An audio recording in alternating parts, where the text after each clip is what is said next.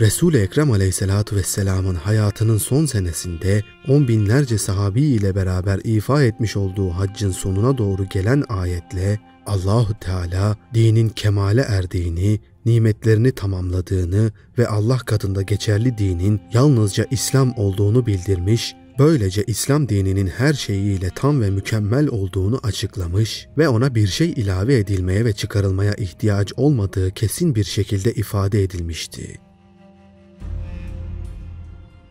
Allah Resulü aleyhisselam hadislerinde kendisinden önceki ümmetleri peygamberlerin idare ettiğini, bir peygamber vefat edince onun yerine başka bir peygamber geldiğini fakat kendisinden sonra peygamber gelmeyeceğini açıkça söyleyip kendisinden sonra ümmetini halifelerin idare edeceğini ifade etmişti. Ancak kendisinden sonra halifenin kim olacağı hususunda açık bir emirleri olmamıştı.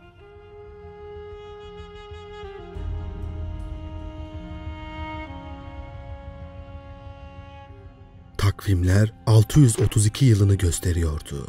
Safer ayının 27. günü Resul-i Ekrem aleyhissalatu vesselamın başı ağrımaya başladı.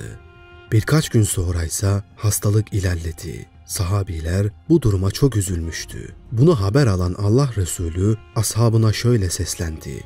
Ey ashabım! Benim ölümümü düşünüp telaş ediyorsunuz. Hiçbir peygamber ümmeti arasında sonsuz kaldı mı ki ben sizin aranızda sonsuz kalayım? Biliniz ki ben Rabbime kavuşacağım. Efendimizin hastalığı ilerliyordu. Normalde bütün namazları Allah Resulü kıldırırdı. Ancak vefatına üç gün kala hastalığı iyice ağırlaşmıştı. Artık mescide çıkamadığından dolayı namazları Hazreti Ebu Bekir'in kıldırmasını söyledi. Hazreti Ebu Bekir radıyallahu an Peygamberimiz aleyhisselam hayattayken sahabeye 17 vakit namaz kıldırdı. Sahabe indiğinde bu durum peygamberden sonra Hazreti Ebu Bekir'in halife olacağına bir işaret olarak yorumlandı. Resul-i Ekrem aleyhissalatu vesselam Efendimizin mübarek ruhu Rebiül Evvel ayının 12'sine denk gelen pazartesi günü Refiki Ala'ya yükseldi.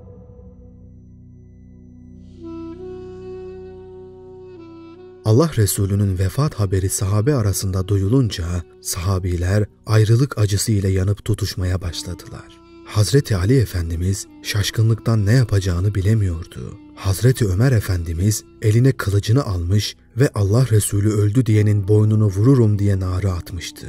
Hazreti Osman Efendimizin dili tutulmuştu. Hazreti Bilal Efendimiz ezan okuyamaz olmuştu. Herkesin ciğeri yanıyordu. Bu tarif edilemez bir acıydı. Sahabilerin bu duygular içinde ne yapacaklarını bilemediği bu anda Hazreti Ebu Bekir Efendimiz mescidin minberine çıktı ve şu konuşmayı yaptı. Ey insanlar! Allah birdir. Ondan başka ilah yoktur. Muhammed onun kulu ve elçisidir. Muhammed'e kulluk eden varsa bilsin ki o ölmüştür.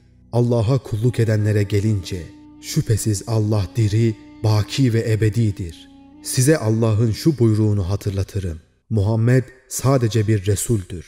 Ondan önce de peygamberler gelip geçmiştir. Şimdi o ölür veya öldürülürse siz gerisin geriye mi döneceksiniz? Kim geri dönerse Allah'a hiçbir zarar veremez. Allah şükredenleri mükafatlandıracaktır. Ve ardından allah Teala'nın haber verdiği gibi Efendimiz Aleyhisselam'ın vefatını onlara bildirdi. Ey Habibim! Şüphe yok ki sen de öleceksin ve onlar da ölecekler. Ve şöyle devam etti. Allah'ın kitabına ve Resulullah'ın sünnetine sarılan doğruyu bulur. İkisinin arasını ayıran sapıtır. Şeytan peygamberimizin ölümüyle sizleri aldatmasın. Dininizden saptırmasın. Şeytanın size ulaşmasına fırsat vermeyiniz. Bu sözler orada bulunanları sakinleştirdi ve herkese bir teselli verdi. Hazreti Ebu Bekir'in bu ayeti hatırlatması bütün ashabı adeta uykudan uyandırır gibi ikaz etti. Hazreti Ebu Bekir böylece pek mühim bir vazife yapmış oldu. Münafıklar ise bu kargaşadan istifade ederek fesat çıkarmak istiyorlardı. Halifenin kim olacağı ve nasıl seçileceği konusu pek çok ihtilafa sebep olabilirdi. İslam devletinin uzun müddet başsız kalması durumunda İslam'ın ve Müslümanların büyük zarar göreceğini düşünen sahabiler meselenin bir an önce halledilip geciktirilmemesi gerektiğinde ittifak ettiler. Bu itibarla bir taraftan Allah Resulü'nün defin işlemleri devam ederken diğer taraftan bazı sahabiler halifenin belirlenmesi için faaliyete başlamışlardı. Hazreti Ebu Bekir Efendimiz cenaze işlerini Hazreti Ali Efendimiz'e bırakıp halifeyi seçmeyi görüşen ashab-ı kiramın yanına gitti. Bu görüşme neticesinde Hazreti Ebu Bekir Efendimizin halife olması konusunda görüş birliğine varıldı. Ertesi gün ise sahabiler mescitte toplanarak Hazreti Ebu Bekir'e umumi biatta bulundular. Böylece önemli ihtilaflardan birisi halledilmiş, Hazreti Peygamber aleyhissalatu vesselamın halifesi, peygamberlerden sonra insanların en faziletlisi olan Hazreti Ebu Bekir radıyallahu anh olmuştu. Sahabiler Hazreti Ebu Bekir'e halifeti Resulullah ünvanını vererek İslam esaslarının uygulanması ve devletin idaresinde Allah Resulü aleyhisselamın vekili olduğunu ittifakla kabul ettiler. Hazreti Ebu Bekir minbere çıkarak insanlara şu konuşmayı yaptı. Ey insanlar! Sizin en iyiniz olmadığım halde sizin başınıza geçmiş bulunuyorum. Vazifemi yerli yerince yerine getirirsem bana yardım ediniz. Yanılırsam bana doğru yolu gösteriniz. Doğruluk emniyet, yalancılık hıyanettir. İçinizdeki zayıf olan kimse hakkını alıncaya kadar benim yanımda kuvvetlidir. İçinizdeki kuvvetli kimse de ondan başkasının hakkı alınıncaya kadar benim yanımda zayıftır. Bir millet Allah yolunda cihattan uzak durursa o millet zillete düşer. Bir millette fenalık çoğalırsa o millet toptan belaya uğrar. Ben Allah'a ve peygambere itaat ettikçe siz de bana itaat ediniz. Ben Allah'a ve peygamberine isyan edersem sizin de bana itaat etmeniz icap etmez. Haydi namaza.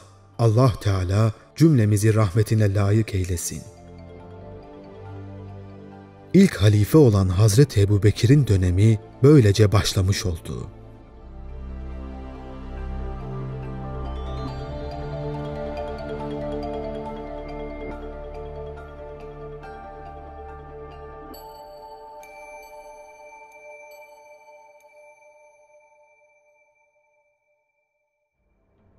Hazreti Peygamber aleyhissalatu vesselam vefatından önce Hazreti Üsame emrindeki bir kısım orduyu Mute'ye doğru gazaya hazırlamıştı. Allah Resulü'nün vefatından sonra bu gazanın yarıda kalıp kalmayacağı tartışılmaya başlandı. Hazreti Ebu Bekir bu orduyu alıkoymayacağını ifade ederek sefer emri verdi. Ordu kuzeyde Kızıldeniz paralelinde iki buçuk ay boyunca ilerledi. Buradaki isyan eden kabileleri tekrar hakimiyet altına aldı. Ancak bir müddet sonra halifeden geri dönüş için emir geldi. Zira Allah Resulü aleyhisselamın vefatının akabinde sonradan İslam'ı kabul etmiş olan ve yeteri kadar dine kalbi ısınmamış Araplardan bazılarının İslam'dan döndüğü haberleri çıkmıştı. Müslümanların zayıf kalmaması için ordu geri çağrılmıştı. Zekat vermek istememeleri, bazı emir ve yasakların peygamberin vefatıyla birlikte geçerliliğini yitirdiğini iddia etmeleri, kabileler arası çekişmeler gibi sebeplerle dinden dönmeler yaşanıyordu. Ayrıca sahte peygamberler çıkmıştı. Bu isyanlar Mekke, Medine ve Taif hariç tüm Arabistan'ı sarmıştı.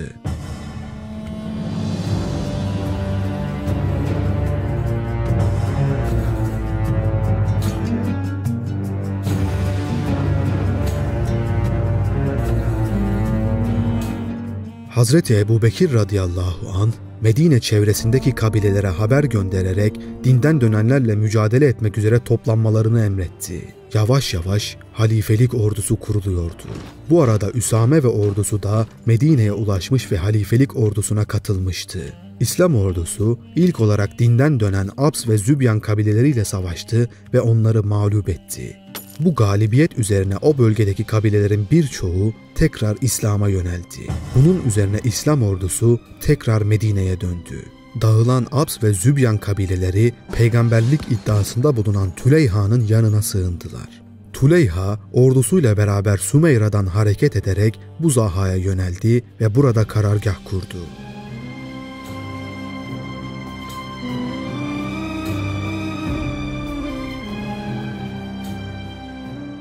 Hazreti Ebu Bekir Medine'de ordusunu topladıktan sonra dinden dönenlerle savaşmak üzere ordusunu 11'e böldü.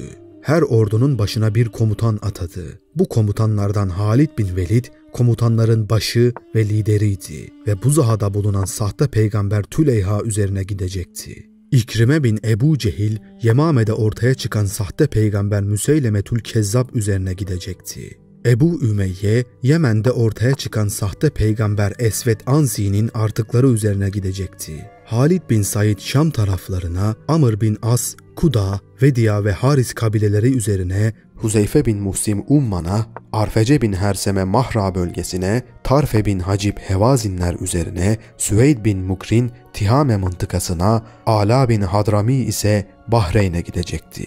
Şurahbil bin Hasene de İkrime ordusunun arkasından gidecekti.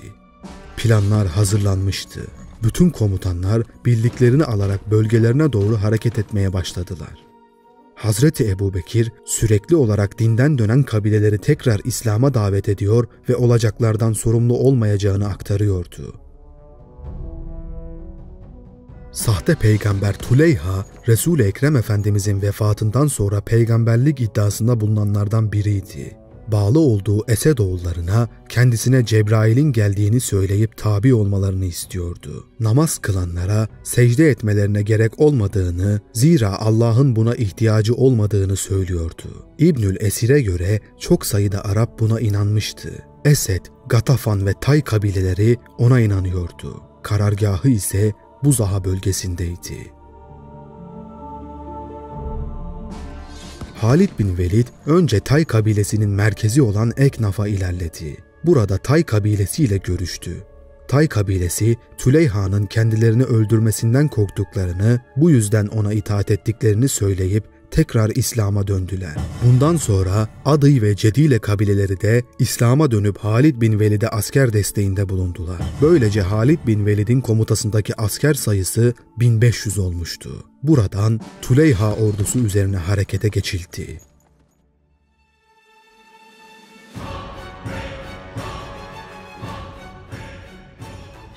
Sonunda iki ordu karşı karşıya geldi ve Halid bin Velid müthiş bir zafer kazandı. Tuleyha ise Suriye'ye kaçmıştı. Halid bin Velid burada kontrolü sağladıktan sonra bu tahta bulunan Malik bin Nüveyre üzerine yürüdü. Malik, Resul-i Ekrem aleyhisselam zamanında zekat memuru olarak bu bölgeye gönderilmişti. Ancak Efendimizin vefatından sonra Secah'a tabi olduğunu açıkladı. Secah, peygamberlik iddiasında bulunan bir kadındı. Bu bölgede yapılan savaşta Malik bin Nüveyre öldürüldü ve burada tekrar kontrol sağlandı. Peygamberlik iddiasında bulunan Seca, Müseyleme'nin yanına sığınmıştı.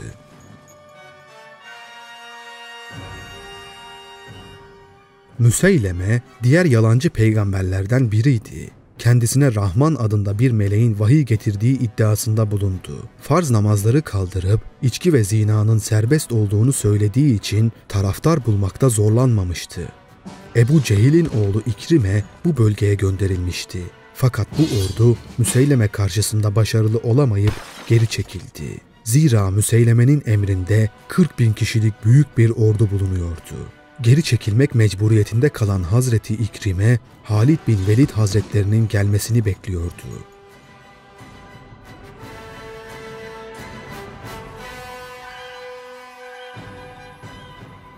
Nihayet Hazreti Halid ordusuyla beraber gelince iki ordu birleşti ve Yemame'de Müseyleme ordusuyla karşı karşıya gelindi.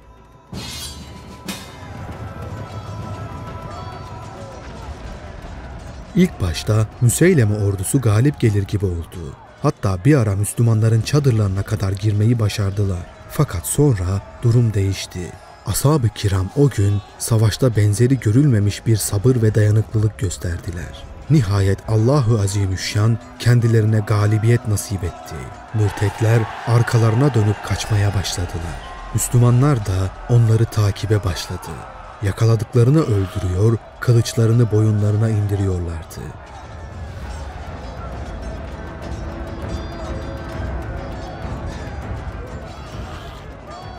Derken Müseyleme ve ordusu kalelerine çekildiler. Kalenin surları yüksek olduğundan kimse içeri giremiyordu. Müslümanlar orayı sadece kuşatmakla kalmışlardı. Derken ashab-ı kiramdan Bera bin Malik radıyallahu an akıl almayacak bir şey teklif etti. Ey Müslümanlar! Beni bir yaygıya sararak bahçeye fırlatın dedi. İlk başta buna şaşıran Müslümanlar gece çökünce dediğini yaptılar. Onu bir yaygıya koydular ve bahçeye fırlattılar. Bera Hazretleri tam da sur kapısının arkasına düşmüştü. Hemen ayağa kalkarak kapıdaki bekçileri etkisiz hale getirdi ve kapıları açtı. Böylece pusuda bekleyen Müslümanlar hızlıca kale kapısından içeri girdiler. Baskını fark eden mürtetler müthiş bir korkuya kapıldı. Kale içinde dehşetli bir çarpışma başladı. Bu hengamede sahte peygamber Müseyleme bir duvar gediğinin yanında durmuş, kaçmak için duvara tırmanmaya çalışıyordu. Aklını kaybetmiş gibiydi. Ağzından köpükler saçılıyordu. O sırada daha önce Uhud Savaşı'nda Hazreti Hamza'yı şehit eden ve daha sonra Müslüman olan Hazreti Vahşi ona ulaştı. Mızrağını Müseyleme'ye savurdu. Mızrak Müseyleme'nin bir tarafından girip diğer tarafından çıktı. Yıllar önce Hazreti Hamza'yı şehit eden o mızrak şimdi sahte peygamberin canını cehenneme ısmarlamıştı. Böylece savaş nihayete erdi ve İslam ordusu mürtedlere karşı galip geldi. Müseyleme taraftarı 20 bin kişi Müslümanlar tarafından öldürülürken İslam ordusu ise 2 bin şehit vermişti. İslam topraklarından güzel haberler Hazreti Ebu Bekir'e ulaşıyordu. Önce Yemen'deki isyanlar, sonra Hadramevt bölgesi, Mehre, Umman, Bahreyn ve netice olarak tüm fethedilen bölgelerde tekrar kontrol sağlanmıştı. İslam topraklarına yeniden huzur hakim olmuştu. Tarihe Ridde savaşları olarak geçen bu savaşlar Müslümanların kesin zaferiyle neticelenmiş, böylece içerideki tehlikeler bertaraf edilmişti. Artık sıra fetih hareketlerindeydi.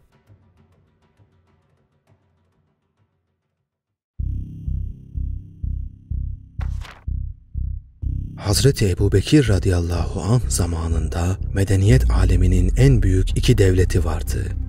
Roma ve İran İmparatorluğu. Bu iki devlet uzun bir süredir birbiriyle mücadele ediyordu. Peygamberimiz Aleyhisselatü Vesselam'ın doğduğu senelerde Sasani Devleti, Arabistan Yarımadası'nın en güzel ve en verimli kısmı olan Yemen'i topraklarına katmak istemişti. O sıralarda Yemen, Habeşistan'a bağlıydı ve Ebrehe isminde bir vali tarafından idare ediliyordu.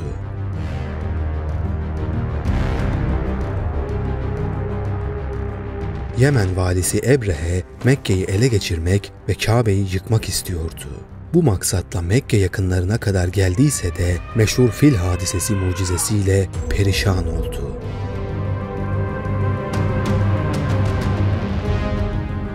Ebrehe'nin ölümünden sonra onun oğullarıyla kardeşlerinin birbirleriyle mücadele etmeleri Sasanilerin Yemen'i istila etmelerini kolaylaştırdı. Neticede Yemen'e saldıran İranlılar Habeşlileri yenerek denize döktüler ve Yemen'i ele geçirdiler. O zamanlar Habeşistan Doğu Roma'nın müttefikiydi. Roma İmparatoru Justinian, Sasanilerin Habeşlileri Yemen'de denize dökmeleri üzerine Hristiyan dindaşı olan Habeşistan'ın intikamını almaya and içti.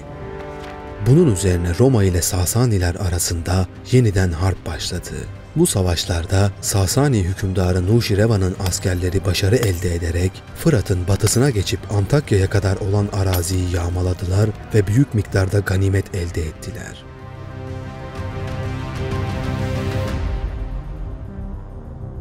Bu yenilgi İmparator Justinian'in tahtından çekilmesine sebep oldu. Yerine Nibros geçti. Bu sefer Roma orduları Sasanilere karşı başarılar elde ederek eski topraklarını geri aldılar. Bu mağlubiyetten kısa süre sonra İran Şahı Nuşirevan öldü. Yerine oğlu Hürmüz geçti. Hürmüz babasının sadık adamlarını birer birer öldürdü ve aleyhinde olan ayaklanmaları da kanla bastırdı. Askerlerini her türlü ahlaksızlığa sevk etti. Sarayı ve mahkemeleri kana buladı. Bu zulmün neticesinde emri altında olan Hindistan, İskitye, Yemen gibi vergiye bağlanmış olan yerler İran'ın emrinden çıktılar. Bu durumdan istifade eden Romalılar İran topraklarına girerek bu ülkenin altını üstüne getirdiler. Hürmüz, İran'ı bu yanlış ve zulüm hareketleriyle batırıyorken Behram onu devirip ülkeyi yıkılmaktan kurtardı. Hürmüz'ün yerine tahta oğlu 2. Hüsrev geçti.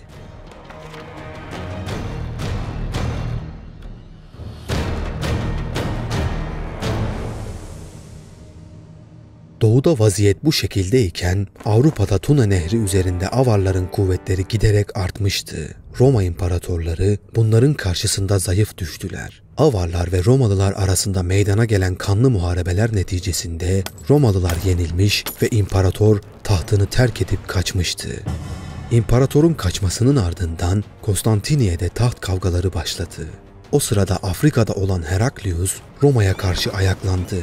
Heraklius'un gemileri Konstantiniye sularına geldi.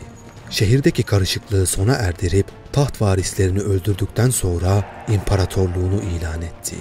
Roma tahtında bu olaylar yaşanırken Sasaniler bu karışıklıktan istifade ederek Roma'ya saldırmış ve Suriye'yi baştan başa ele geçirmişti.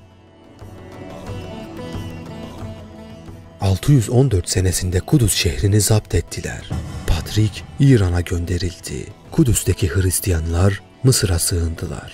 Pers ordusu bir taraftan Anadolu topraklarını zapt ederken diğer kısmı Mısır'ı zapt ediyordu. Habeşistan hududuna kadar Nil Vadisi'ni ele geçirdiler. İran Şahı Hüsrev İskenderiye'ye girmiş, diğer taraftan İran ordusu Konstantiniye şehrinin Anadolu yakasına kadar ilerlemişti. Sasaniler ateşe taptıkları için nereye girerlerse oraya taptıkları ateşkedeyi kuruyor ve herkesi ateşe tapmaya zorluyorlardı. İran hükümdarı Hüsrev zaferinin maddi meyvelerini bol bol almıştı. Öyle ki ikamet ettiği şehir ganimetlerle dolmuştu. Hüsrev'in Roma'dan elde ettiği ganimetleri 960 fil, 12 bin deve ve 8 bin at taşıyordu. Ahırlarında 6 bin at ve katır besleniyordu. Sarayın muhafızları 6 binden fazlaydı. 12 bin köle sarayın iç hizmetlerini görüyordu. Asya'nın en güzel kızlarından 3000 bakire şahın zevkini tatmin etmek için ayrılmıştı. Yer altında inşa edilen yüz hazine altın, gümüş ve çeşitli mücevherler ve ipeklerle dolmuştu. Sarayın duvarları 40 bin halı ile süslenmiş, tavanı da gökteki yıldızlara benzetilmek için bin adet altın top ile süslenmişti. Sasani ve Roma imparatorlukları arasında harpler bu şekilde seyredip İran Şahı'nın maddi gücün en yüksek derecesine çıktığı bu sıralarda Peygamber Efendimiz Aleyhisselatu Vesselam'a Rum suresinin ilk ayetleri nazil olmuştu. Elif, Lam, Mim. Rumlar mağlup edildiler. Fakat onlar bu yenilgilerinden birkaç yıl sonra galip geleceklerdir. Karar yetkisi eninde sonunda Allah'a aittir. Bu ayetler nazil olduğu sıralarda Rumlar, İranlılar karşısında öyle bir yenilgiye uğramışlardı ki, Doğu Roma'nın birkaç sene içerisinde kendisini derleyip toplayıp İran'ın karşısına çıkacağını tahmin etmeye imkan ve ihtimal yoktu. Zira Doğu Roma bütün güçlerini yani Suriye'yi ve Mısır'ı ve ayrıca Asya'daki vilayetlerini tamamen kaybetmişti. Avrupa tarafındaysa Avarlar Trakya'ya kadar dayanmışlardı. İmparator Heraklius Konstantiniye surları içerisine sıkışıp kalmıştı. Mısır'ın kaybedilmesinden sonra başkent kıtlığa ve yağmaya uğramış, İmparator Heraklius, Doğu Roma'nın artık çöktüğünü kabul ederek başkentini Kuzey Afrika'da Kartaca şehrine nakletmeye karar vermişti. Doğu Roma, kelimenin tam manasıyla artık bir daha başını kaldıramayacak bir hale gelmişti. Heraklius, imparatorluğunun ilk ve son senelerinde sefahate dalmış bir adamdı. Ama İran karşısında ayağa kalkamayacak şekilde yenilmesinden sonra hemen birkaç sene içerisinde öyle bir toparlandı ki tarifi mümkün değil. Avarlarla sulh yapıp ordusunu yeniledikten sonra Sasaniler üzerine atağa kalktı ve harbe başladı. Romalıların gözünde adeta bir kahraman olmuştu. Doğu Roma tarihçilerinin hiçbiri Heraklius'un saltanatının ilk ve son zamanlarındaki haliyle saltanatının ortalarındaki bu kahramanlığının sebebini izah edemiyorlar. Heraklius, Toroslara geçip Sasanileri öyle bir bozguna uğrattı ki ilerleye ilerleye İran'ın göbeğine kadar girdi.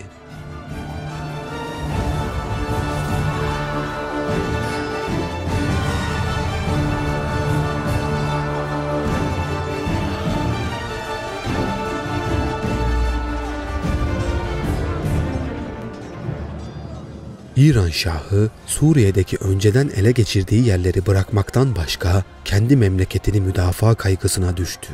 Hüsrev'in bu yenilgisi kendi hayatına mal oldu. Onu öldüren oğlu yerine geçti. Fakat İran artık çökmüştü. Böylece Doğu Roma ve Sasani sınırları Hazreti Ebubekir'in halifeliği dönemindeki son halini almış oldu.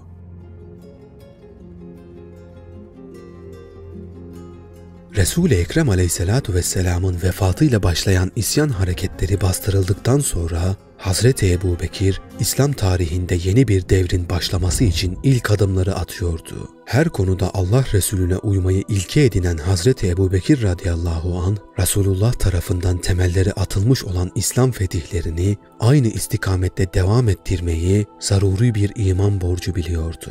Müslümanların ilahi kelimetullah etrafında birleşip Kur'an-ı Kerim'den hız ve güç alarak gerçekleştirdikleri bu fetihler, insanlık tarihinin en önemli olaylarından birisi olmuştu.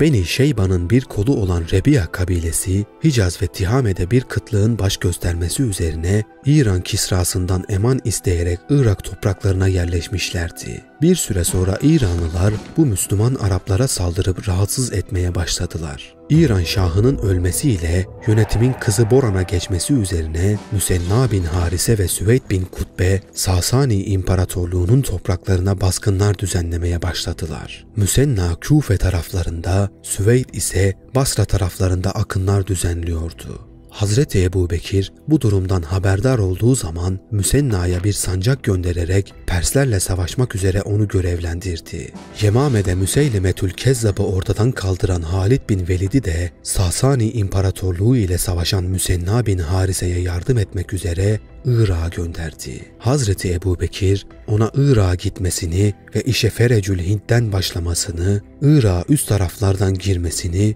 insanlarla ülfet etmesini, onları aziz ve celil olan Allah'a davet etmesini, davetine icabet etmeleri halinde icabetlerini kabul etmesini, aksi takdirde onlardan cizye almasını, cizye vermedikleri takdirde onlarla savaşmasını, hiç kimseyi kendisiyle beraber Irak'a gitmeye zorlamamasını, safları arasına dönseler bile mürtetlerden yardım istememesini, uğradığı her Müslümanla sohbet etmesini emreden bir mektup gönderdi. Müsenna'ya da mektup yazarak Basra'da Halid bin Velid'in ordusuna katılmalarını söyledi. Halid bin Velid'in komutasında kendisine iltihak eden Müsenna ve diğer komutanlarla birlikte 18 bin kişilik bir ordu mevcuda gelmişti. Halid bin Velid Sasani topraklarına girer girmez Sasani imparatoruna ve Medain'deki komutan ve vezirlerine bir mektup yazdı.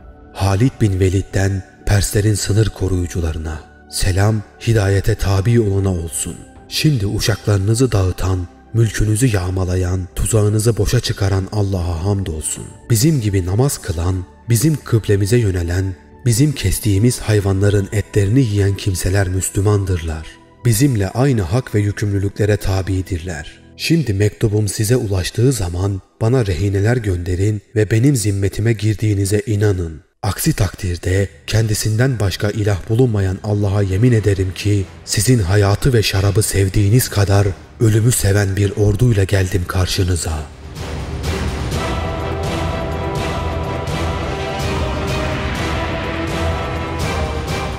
Halid bin Velid 18 bin askeriyle Basra körfezinin bir liman şehri olan Übülle üzerine yürüyordu.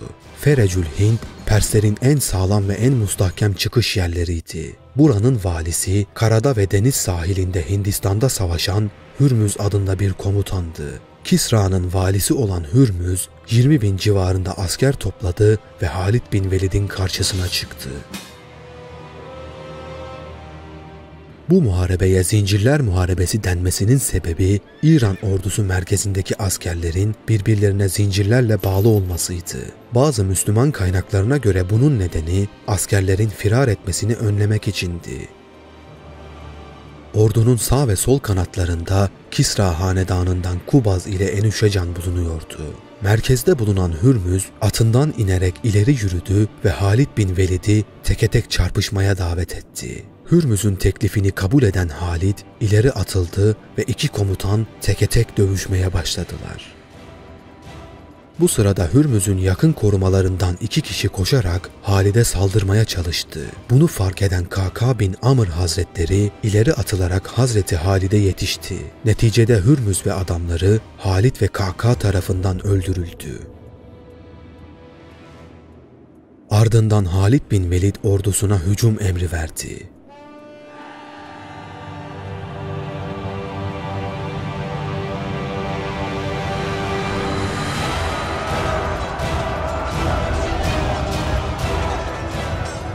Başsız kalan Sasani ordusu merkezi zayıf düşmüştü.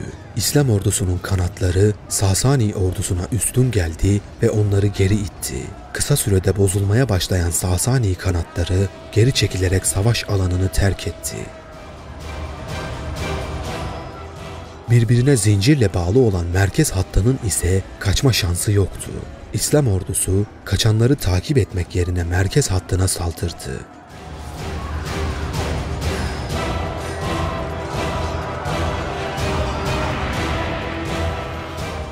Böylece Sasani ordusu çok büyük bir hezimete uğramış oldu.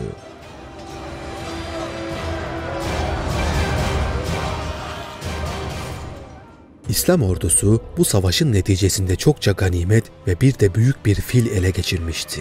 10 binden ziyade Sasani askeri öldürülmüş, 10 bin kadarı da kaçmıştı. Buna mukabil Müslümanların kayıpları ise yüzlerle ifade edilmekteydi. Halid bin Velid ganimetin beşte birini ve bir de büyük fili zafer müjdesiyle Hazreti Ebu Bekir'e gönderdi. Müslümanlar hızla civardaki kaleleri ele geçirmeye başladılar. Bu sırada bu yenilgi haberini alan Sasani İmparatoru Karin komutasında 25 bin kişilik bir orduyu Müslümanlar üzerine sevk etti. Karin, El Mezar'a vardığında Zincirler Muharebesi'nden kaçanlar ile karşılaştı. Bu 10 bin kişilik süvari birliğini ordusuna katarak Halid bin Velid üzerine yürüdü.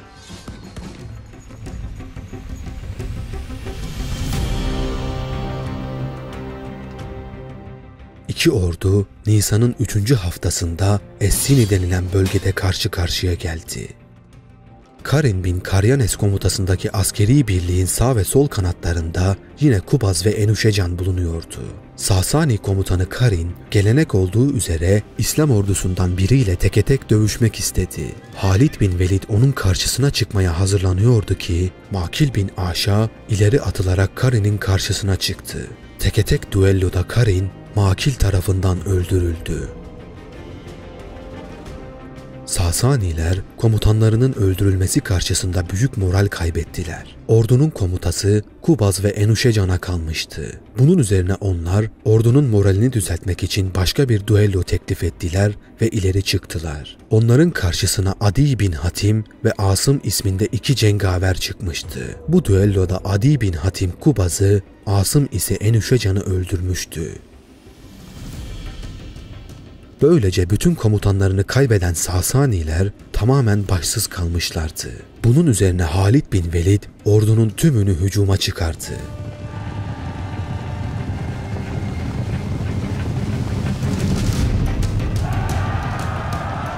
İslam ordusunun heybetinden korkan ve başsız kalan Sasaniler doğru düzgün bir direniş bile gösteremeden dağılıverdiler. Kaçan askerler Müslümanlar tarafından nehre sürülüyordu. Sasani askerlerinin birçoğu kılıçla öldürülürken birçoğu da nehirde boğularak ölmüştü. Kaynaklara göre Müslümanlar o gün Perslerden 30 bin kişiyi öldürmüşlerdi. Çok azı canını kurtarabilmişti. Müslümanların elde ettiği ganimetler saymakla bitmiyordu.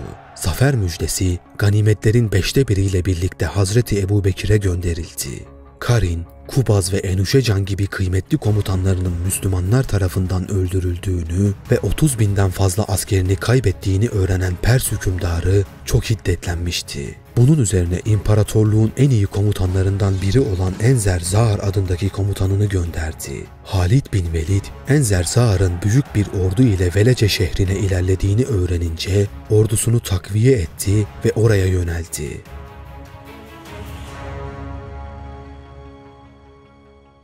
İki ordu Velece yakınlarında karşı karşıya geldi. Halid bin Velid, Sasani ordusunun kalabalıklığını ve Enzer Zağar'ın savaştaki yeteneklerini biliyordu. Bu yüzden stratejisini düşmanı şaşırtmak üzerine kurguladı. Gece vakti süvarileri ordugahtan çekerek iki farklı yere konumlandırdı. Böylece ordugahta yalnızca yayalar kalmıştı. Sabah olduğunda Müslümanların yaya birlikleri Sasanilerin karşısına dizilmişti. Başlangıçta Müslümanlar savunma pozisyonu alıp Sasanilerin saldırı yapmasını beklediler. Fakat Enzer Zahar karşısındaki düşmanın sayıca az ve tamamen yaya olmasından dolayı şüphelendi ve saldırmak yerine beklemeyi tercih etti. Bunun üzerine Halid bin Velid yayalara hücuma geçmesi emrini verdi. Müslümanlar savunma pozisyonundaki Sasani ordusuna saldırdılar.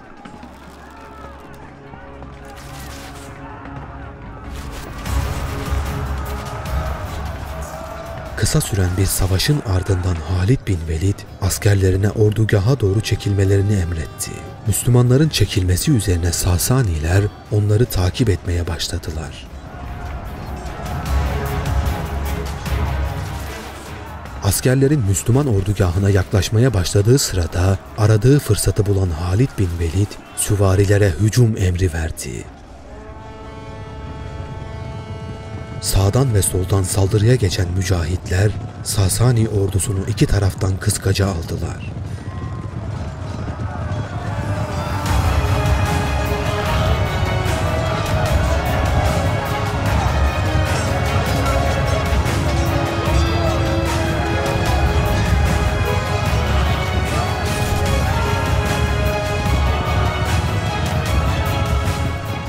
Bu saldırının ardından Persler neye uğradığını şaşırdılar. Birbirlerinden habersiz kaldılar ve sonunda büyük bir hezimete uğradılar. Sasani komutanı Enzer Zahar öldü ve Sasani ordusundan yalnızca 5000 kişi kurtulabildi.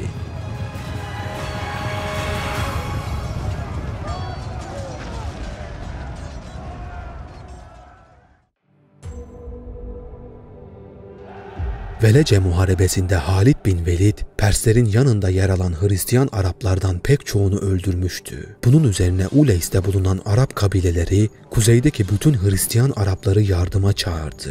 Ardından Sasani hükümdarından da yardım istedi. Bunun üzerine hükümdar Uleys'e bir miktar asker gönderdi.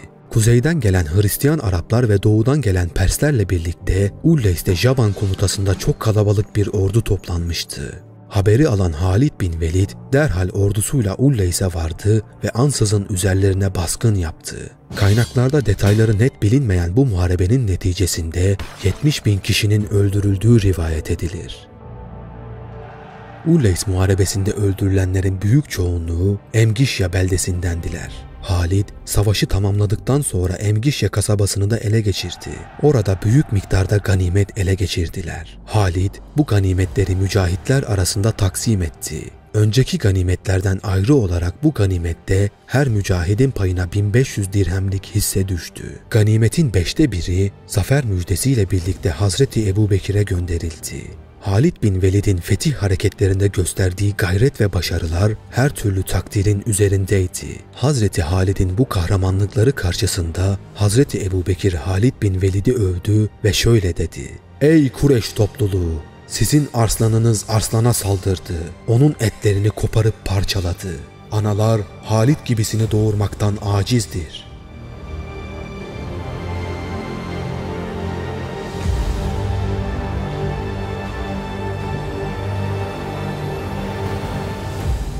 Ardından Halid bin Velid Hire şehrine yürüdü. Hire havasının ve suyunun güzelliğiyle meşhur bir beldeydi. Araplar arasında Hire'de bir gün bir gece kalmak bütün bir yıl tedavi görmekten iyidir sözü yaygındı. Halid bin Velid Hire'yi kuşatmadan önce onlara üç seçenek sundu. Müslüman olmak, cizye vermek yahut da savaşmak. Hireliler savaşmayı seçtiler.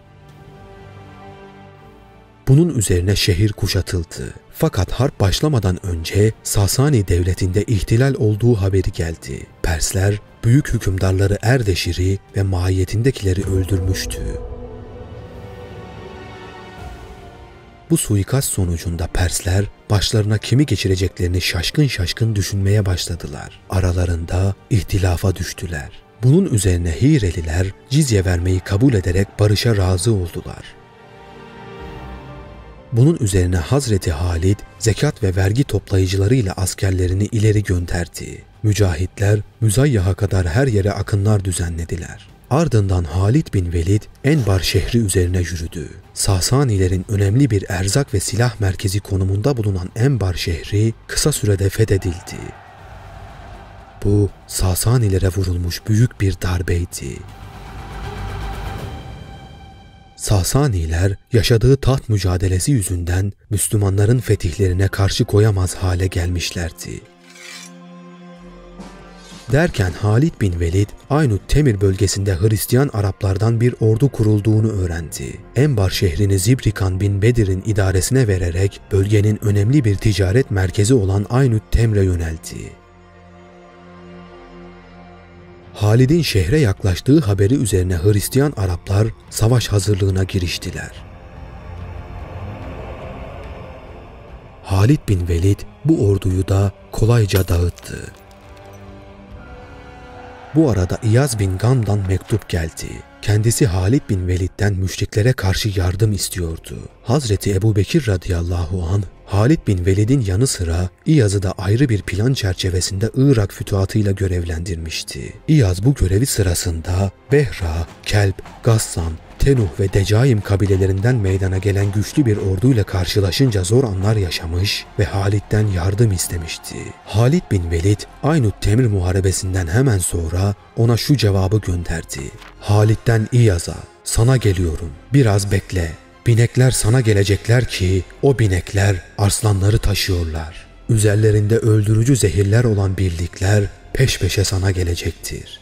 Bunun üzerine Halid bin Velid Dümetül Cendel'e yöneldi. Müşrik ordusu Halid bin Velid'in kendilerine doğru gelmekte olduğu haberini alınca ihtilafa düştüler. Ordunun bir komutanı diğer komutanlara şöyle dedi. İnsanlar arasında Halid'i en iyi bilen benim. Savaşta onun kadar şanslı bir kimse yoktur.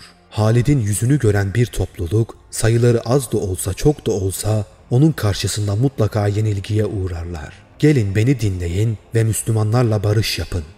Fakat Halid'i bilmeyen diğer komutanlar onu korkaklıkla itham ettiler ve savaş kararı aldılar.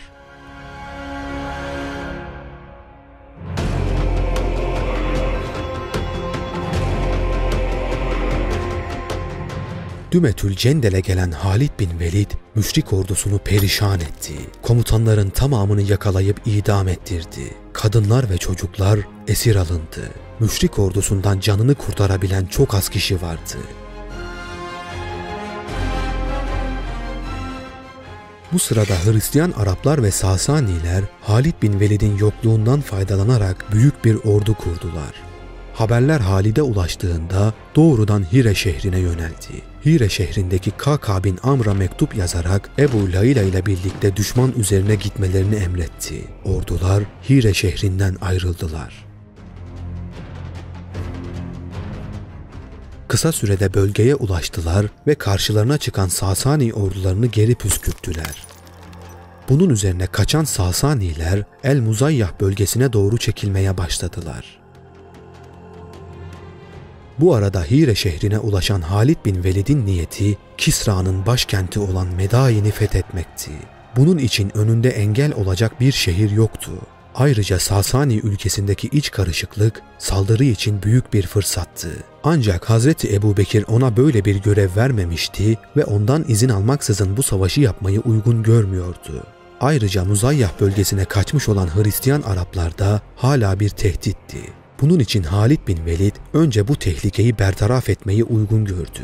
Ordusunu üç gruba ayıran Halid bin Velid, Musayyah'ta bekleyen Sasani güçlerini ürkütmemek için ordusunu çöl üzerinden harekete geçirmeye karar verdi. Bu sayede Sasani ordusu Müslümanların geldiğini fark edemeyecekti.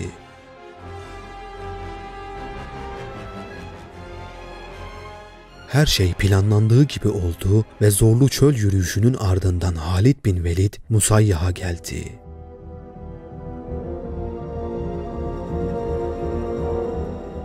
Gece çökene kadar çölde gizlenen Halid bin Velid, gecenin karanlığında Sasani ordusunun uyuduğu bir anda çölden çıkarak bir gece baskını düzenledi.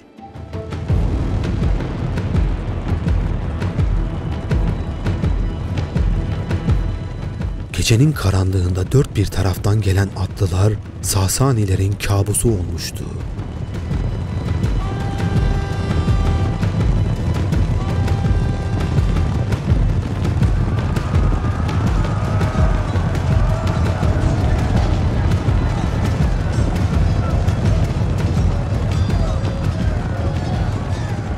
Mücahitler küffar ordusunu büyük bir hezimete uğrattılar. Çok az sayıda adam Müslümanların elinden kaçıp kurtuldu. Diğerleri ise koyun leşleri gibi yere düştüler.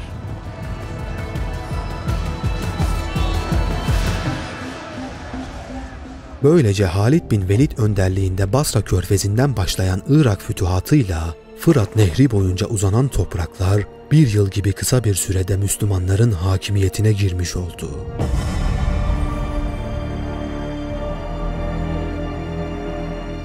Halid bin Velid'in Sasani seferine başladığı sıralarda Hazreti Ebubekir radıyallahu an başka bir orduyu da Roma ile savaşması için görevlendirmişti. Romalılar Müslümanların bu kuvvetlerinin her birinin karşısına çıkacak birer askeri güç hazırlamışlardı.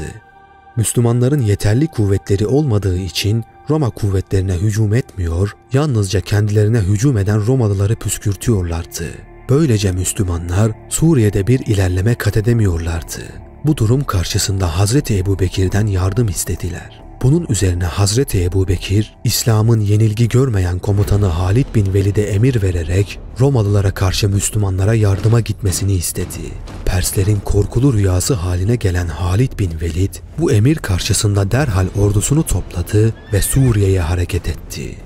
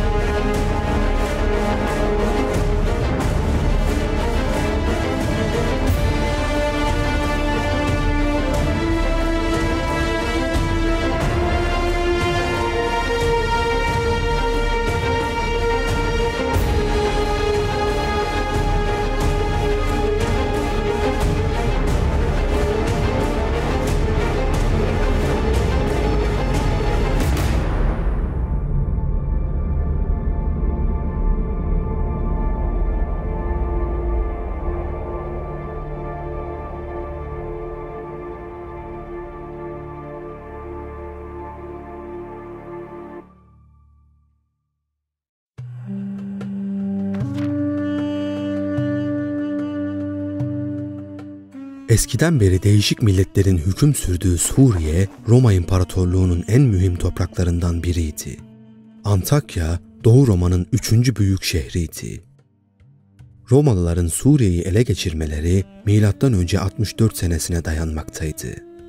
Suriye, Müslümanlığın ilk zuhur ettiği sıralarda Sasani istilasına uğramış, daha sonra 631 senesinde Roma İmparatoru Heraklius tarafından geri alınmıştı. Hazreti Ebu Bekir radıyallahu an halife olduğu sıralarda Kuzeydoğu'daki Sasaniler ve Kuzeybatı'daki Romalılar İslamiyet'in başka milletlere ulaşmasına bir engel teşkil ediyorlardı. Hazreti Ebu Bekir bu iki engeli de kaldırarak Müslümanlığın diğer milletlerle temas edebilmesini temin etmek istiyordu. Bu maksatla Halid bin Velid'i Irak seferine çıkarırken başka bir orduyu da Suriye için sefere hazırlıyordu. Hazreti Ebu Bekir, Resulullah Aleyhisselatu Vesselam'a uymak için böyle yapmıştı. Zira Resulullah Tebük gazvesi senesinde Müslümanları Şam'da savaşmak için toplamıştı. Vefatından önce de Hazreti Üsame radıyallahu an komutasına verdiği bir orduyu Suriye ve sınırlarında savaşması için görevlendirmişti. Ordular Medine'de toplanınca Hazreti Ebu Bekir orduyu dört gruba ayırdı. Her grubun başına en iyi komutanlarından birini atadı. İlk orduyu Yezid bin Ebu Süfyan komutasına vererek Şam vilayetini ele geçirmesini emretti. Bu orduda Mekkeliler bulunuyordu. İkinci ordunun başına Ebu Ubeyde bin Cerrah hazretlerini geçirerek Humus'u ele geçirmesini emretti. Üçüncü orduyu Amr bin As komutasına vererek Filistin'e gitmesini emretti. Dördüncü orduyu ise Şurahbil bin Hasene komutasına vererek Ürdün'e gitmesini emretti.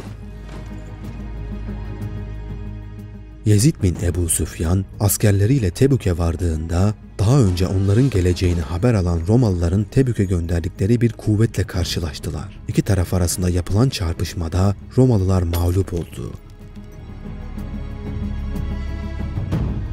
Müslümanların Roma'ya saldırıya geçtiklerini öğrenen İmparator Heraklius, imparatorluğun her yerinden askerlerin toplanmasını ve Suriye'ye gitmesini emretti. Ordularının başına da en tecrübeli komutanlarından olan kardeşi Theodorus'u geçirdi. Roma orduları Suriye'ye doğru ilerlerken İmparator Heraklius Antakya şehrinde karargahını kurdu. Haberler Hazreti Ebu Bekir'e ulaşmıştı. Roma bütün gücünü Suriye'ye kaydırıyordu.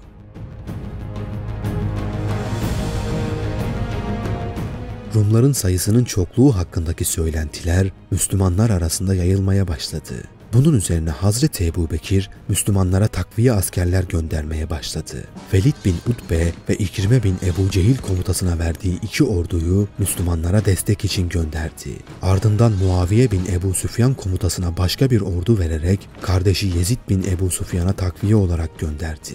Bu son takviyelerle birlikte Müslümanların sayısının toplamı 36 bine yaklaşmıştı. Fakat Romalıların sayısı ise çok daha fazlaydı.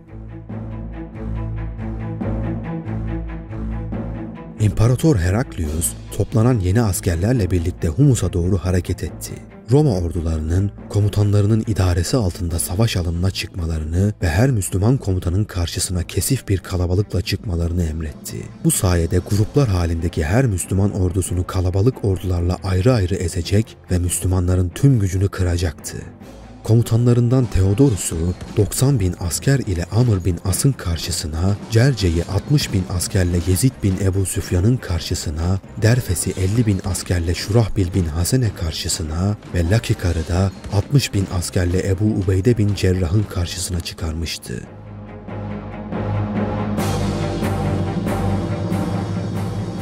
İslam komutanları başlarına gelen bu büyük hadise karşısında ne yapacaklarını sormak üzere Hazreti Ebu Bekir'e mektup yazdılar. Hazreti Ebu Bekir onlara şu mealde bir mektup yazıp gönderdi. Toplanın ve tek bir ordu haline gelin. Siz Allah'ın dininin yardımcılarısınız. Allah dinine yardım edenlere yardım eder. Kendisini inkar edenleri ise yardımsız bırakır. Sizin gibi bir ordu sayı azlığından ötürü mağlup olmaz. Ancak günahkarlık yüzünden mağlup olabilir. Bu sebeple günahtan sakının. Sizden her bir asker arkadaşı ile bağlarını güçlendirsin. Ardından Hazreti Ebu Bekir, Allah'a yemin ederim ki Hristiyanları Halid bin Velid vasıtasıyla şeytanın vesveseleriyle meşgul edeceğim.'' Dedi ve Irak'ta bulunan Halid bin Velid'e Suriye'ye gitmesi ve oradaki ordunun başına emir olması için haber gönderdi. Bu arada Halid bin Velid, Fırat'ın batısındaki Sasani topraklarının fethini tamamlamıştı.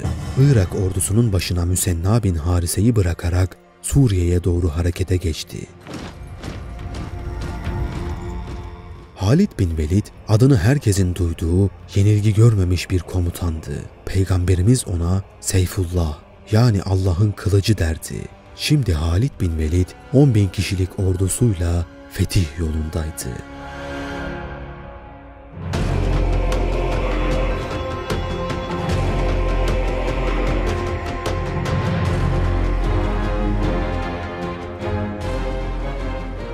Bu sırada Suriye'deki İslam orduları Yermük Nehri kıyısında toplanmışlardı. İmparator Heraklius, Müslüman ordularının Yermük'te birleştiğini haber alınca tüm ordusunun Theodorus komutasında Yermük'e gitmesini emretti. İmparator müthiş bir askeri geleneğe sahip Roma ordusu karşısında Müslümanların hiçbir şansı olmadığını düşünüyordu.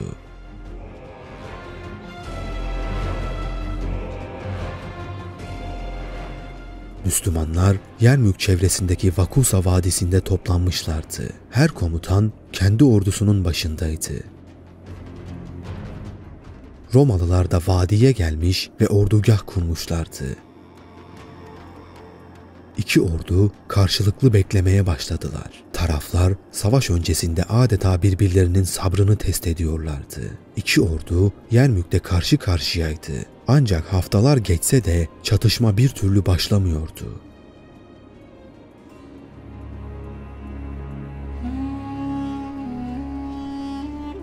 Bu sırada Halid bin Velid 10 bin kişilik ordusuyla çölü geçmeye çalışıyordu. Çölü iyi bilen bir bedevi orduya kılavuzluk ediyordu.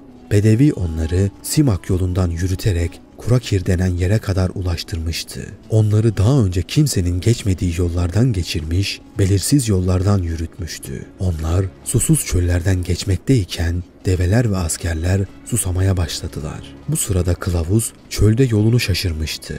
Onlara oturan insana benzer bir ağaç görüp görmediklerini sordu. Askerler görmediklerini söyleyince kılavuz eğer o ağacı bulamazsak çölden çıkamaz ve burada helak oluruz dedi. Bunun üzerine askerler dört bir tarafa dağılarak o ağacı aramaya başladılar. Sonunda o ağacı buldular ve çölün çıkışına ulaştılar.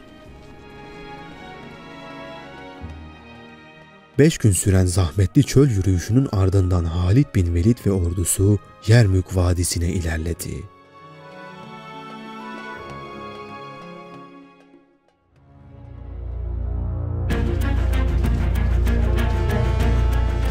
Bu sırada Yermük'te Roma ordusunun takviye orduları gelmeye devam ediyordu. Birincil kaynaklarda Roma ordusu sayısının 240 bini aştığı yazılıyor. Müslümanlar ise yalnızca 36 bin kişiydi. Bu sırada Halid bin Velid 10 bin kişilik ordusuyla Müslümanların saflarına katıldı. Böylece Müslümanların sayısı 46 bine ulaşmış oldu. Halid bin Velid'in gelişiyle Müslümanlar büyük sevinç duydular. Bu savaşta başlarında Halid gibi yenilgi görmemiş tecrübeli bir komutanın olması onlar için büyük bir cesaret olmuştu. Halid bin Velid gelir gelmez diğer ordu komutanlarıyla istişarelere başladı ve ordunun komutasını üzerine aldı. Ardından orduyu düzene soktu her biri biner askerden teşekkül eden 46 askeri birliği savaş alanına yaydı. Ordunun merkezine Ebu Ubeyde bin Cerrah komuta ediyordu. Sağ kanada Amr bin As ve refakatine de Şurahbil bin Hasene verilmişti. Sol kanada ise Yezid bin Ebu Süfyan komuta ediyordu. Halid bin Velid ikiye ayırdığı süvari birliklerinden birinin başında bulunup sağ cenahın arkasına geçti. Diğer süvari birliğinin başına da Kays bin Hubeyre'yi geçirerek sol cenahın arkasına yerleştirdi. O gün ordunun kadısı Ebu Derda'ydı. Orduya öğüt verip savaşa teşvik eden kıssacıları da Ebu Süfyan'dı. Miktat bin Esved askerler arasında dolaşıp Enfal suresini ve cihat ayetlerini okuyordu.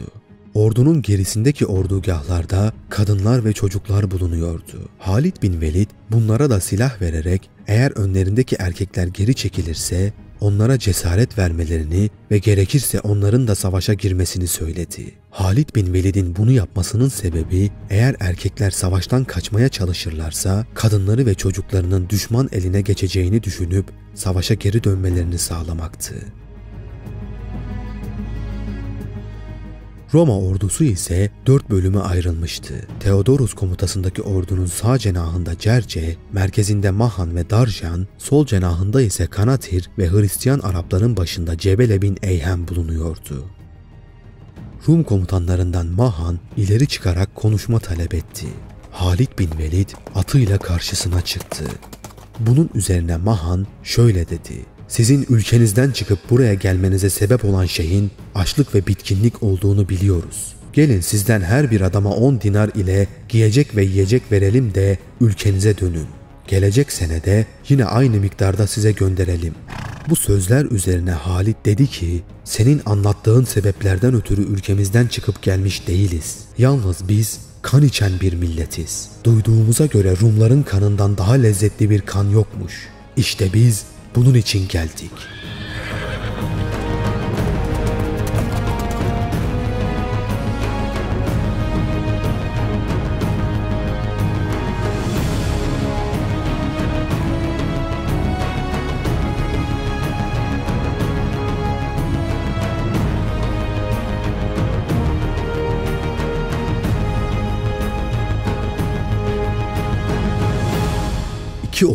Karşı karşıya gelip savaşı beklerken Ebu Ubeyde bin Cerrah emrindeki askerlerine şöyle bir konuşma yaptı. Ey Allah'ın kulları! Allah'ın dinine yardım edin ki o da size yardım etsin ve ayaklarınızı sabitleştirsin. Ey Müslümanlar topluluğu! Sabredin. Çünkü sabır küfürden kurtarır. Rabbi razı eder. Utanılacak şeyleri yok eder. Saflarınızdan ayrılmayın. Düşmana karşı bir adım dahi ilerlemeyin. Savaşa önce siz başlamayın. Mızrak atın ve sert şeyleri siper edinin. İçinizden Allah'ı zikretmekten başka bir şey söylemeyin. Susun ve bu halinizi ben size ikinci emri verinceye kadar sürdürün. Amr bin As ve diğer komutanlar da askerlerine konuşmalar yaptılar. Ardından Ebu Süfyan askerlere çok etkili bir konuşma yapıp onları cesaretlendirdi. Bu sırada Roma saflarından hücum boruları çalınmaya başlandı. Bunun üzerine Ebu Süfyan konuşmasını şöyle sonlandırdı. Ey İslam ehli! Gördüğünüz şeyler hazır oldu. İşte Resulullah ve cennet önünüzdedir. Şeytan ve cehennem ise arkanızdadır.'' Bu sırada Roma sol kanadındaki süvariler Amr bin As'ın komutasındaki sağ cenaha bir saldırı başlatmıştı.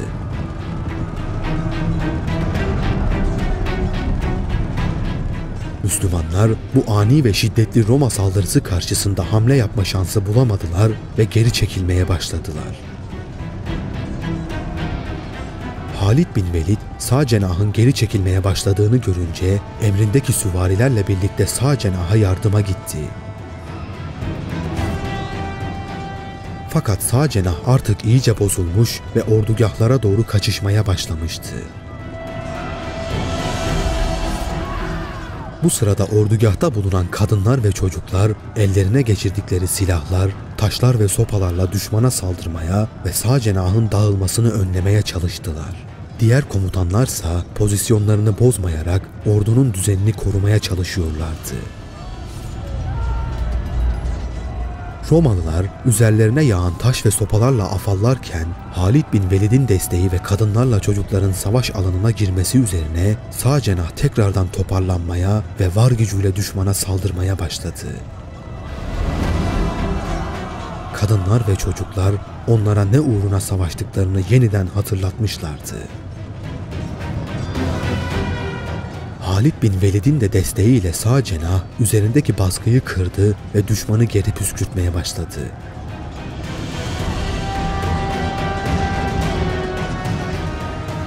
Nihayetinde Rum ordusu daha fazla dayanamayarak geri çekilmek zorunda kaldı.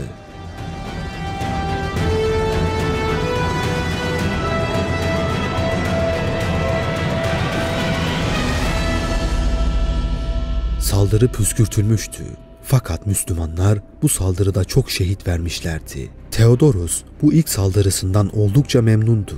Zira Müslümanların sağ cenahını iyice yıpratmıştı. Halid bin Velid Rumların bu başarısının ardından ertesi gün tekrar saldırıya geçeceğini biliyordu ve buna karşı hazırlık yapmıştı. Sabahın ilk saatlerinde Roma ordusu tarafından yeniden boru sesleri yükseldi. Bu defa Rum ordusu sağ kanadı, İslam ordusu sol kanadına doğru saldırıya geçti.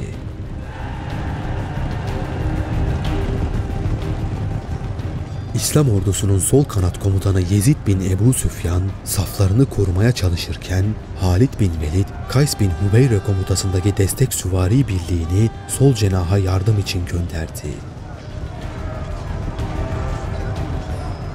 Mekkeli Müslümanlar gelen bu destekle birlikte kısa sürede Romalılara karşı üstünlük sağladılar.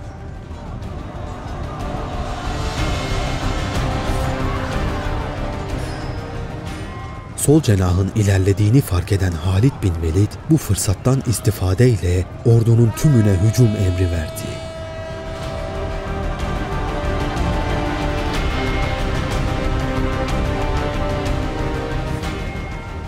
Fakat Roma'nın en etkili güçlerinden biri de deneyimli okçularıydı ki bu okçular aynı anda binlerce oku Müslümanlar üzerine fırlattılar.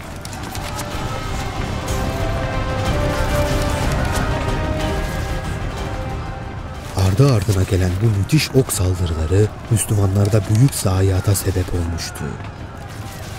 Halit bin Velid daha fazla askerini kaybetmemek için ordusuna geri çekilme emri verdi. Pek çok Müslüman bu oklar sebebiyle şehit düşmüştü. Buna mukabil Roma ordusu sağ kanadı da epey bir kayıp vermişti.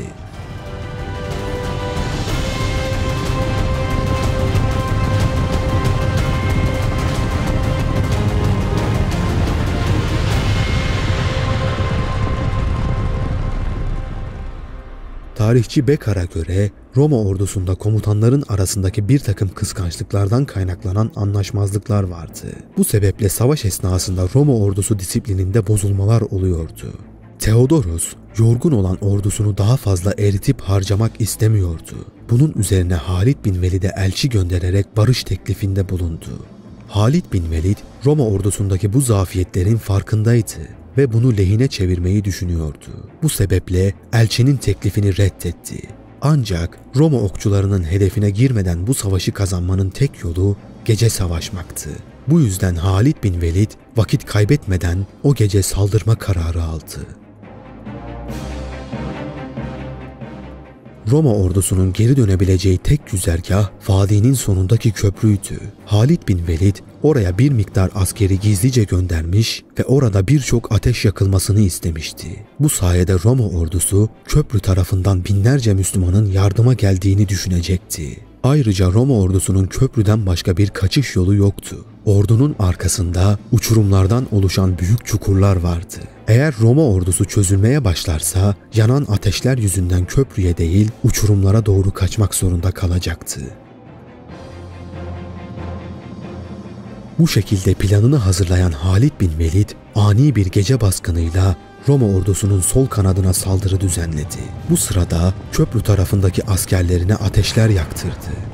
Köprü tarafında çokça ateşin yandığını gören Romalılar, Müslümanlara destek kuvvetler geldiğini sandılar ve müthiş bir korkuya kapıldılar. Roma okçuları ise üzerlerine gelen Müslümanları göremedikleri için nereye ok atmaları gerektiğini bilemiyorlardı. Bu durumu fırsata çeviren Müslümanlar müthiş bir hücumla bu kanada öyle bir baskı uyguladılar ki merkezdeki süvari birlikleri buraya desteğe gitmek zorunda kaldı. Böylece ordunun merkezi yalnızca yayalardan ibaret hale gelmişti. Bunun üzerine İslam ordusunun merkez süvari birliği Roma merkezine doğru müthiş bir saldırıya geçti.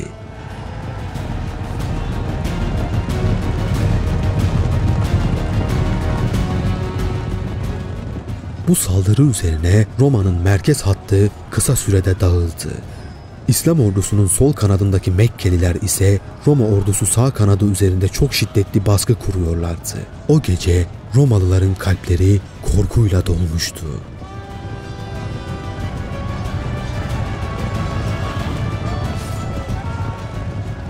Müslümanlar tek bir adam gibi düşmana saldırmışlar, düşman da geri çekilmek mecburiyetinde kalmıştı. Bunun üzerine Müslümanlar onları kovalamaya başladılar. Kaçış güzergahı olan köprü tarafındaki ateşler Romalıların o tarafa kaçmasını engelliyordu. Ayrıca karanlıkta önlerini göremiyorlar ve bulabildikleri tek boşluk olan arkalarına kaçıyorlardı. Fakat hemen ileride büyük uçurumlar mevcuttu ve Romalılar karanlık yüzünden bu uçurumları fark edememişlerdi. Önlerini görmeden kaçmaya çalışan Romalılar patır patır bu uçurumlara düşüyorlardı. O kargaşada kimse kimseyi uyaramıyor ve durduramıyordu.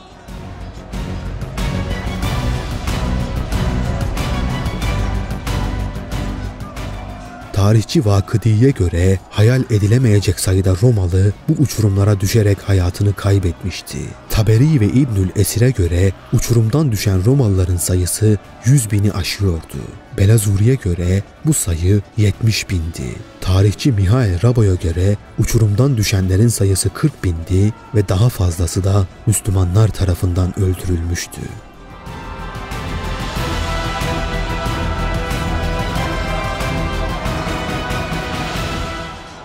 Vakıdi'nin aktardığına göre Ebu Ubeyde bin Cerrah savaş sonunda ölülerin sayımının yapılmasını istemiş ve sayım sonunda uçurumdan düşenler hariç 105 bin Romalı'nın öldüğünü, 40 bin Romalı'nın esir alındığını ve çok sayıda Romalı'nın da dağlara ve vadilere kaçtığını tespit etmişlerdi. Kaçanların çoğu kendilerini takip eden Müslümanlar tarafından yakalanıp öldürülmüştü. Buna karşın Müslümanlar ise toplamda 4000 şehit vermişti.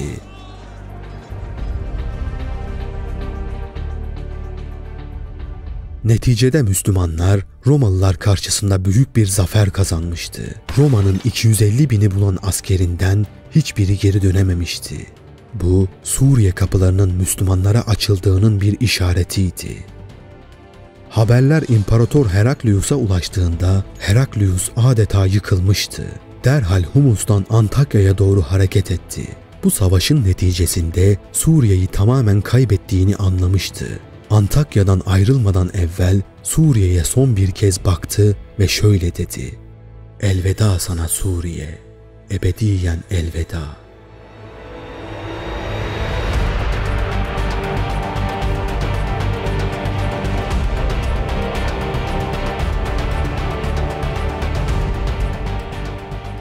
Müslümanlar zafer sevincini yaşayamadan öğrendikleri bir haberle adeta yıkılmışlardı.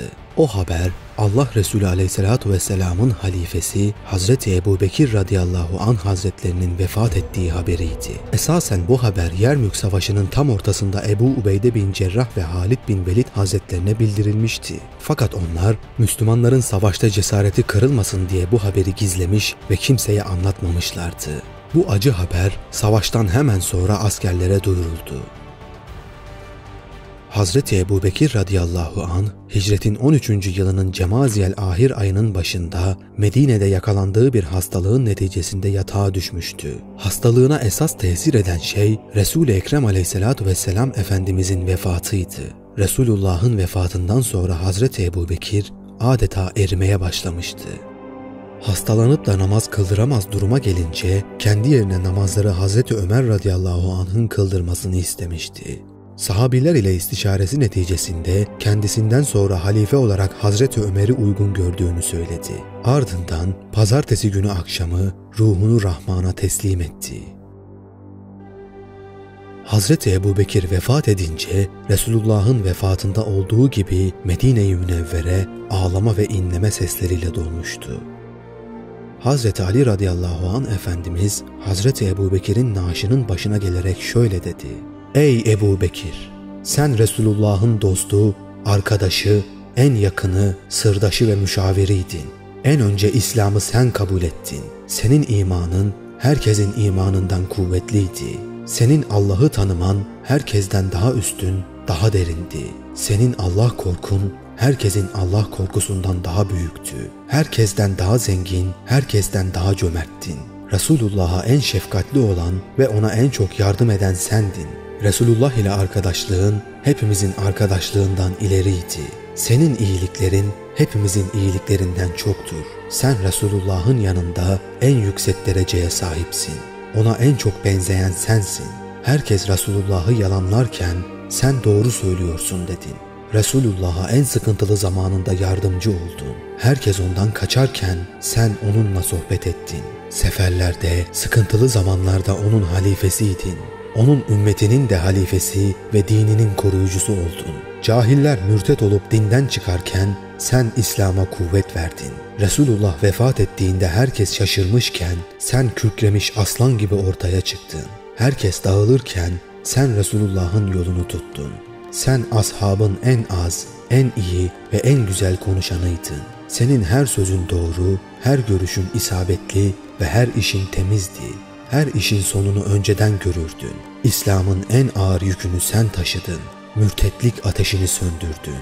Köklerde, melekler arasında senin şanın çok yücedir. Ya Eba Bekir, Müslümanların başına Resulullah'ın vefat acısından sonra senin acın gibi bir acı gelmedi. Sen Müslümanlar için bir dayanak, rahatlayacakları bir gölgeydin. Allah seni Resulullah'ın huzuruna kavuştursun. Bizi de senin kavuştuğun ecir ve mükafatlardan mahrum etmesin. Bizi senden sonra azgınlığa uğratmasın.''